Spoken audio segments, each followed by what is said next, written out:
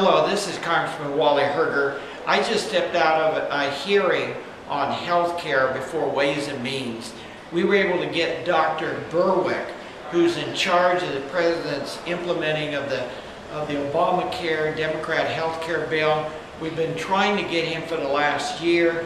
This is the first time that he's appeared before a congressional hearing.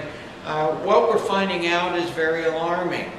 Uh, despite what he says, it's becoming very clear that if you like what you have uh, in healthcare, which was a continual promise by the president and others uh, who were supporting it, that you will not be able to keep it.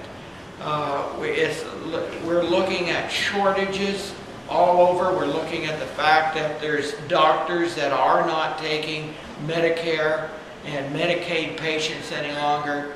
And it was even pointed out how difficult it is to be able to attract physicians to go and study and go into the field.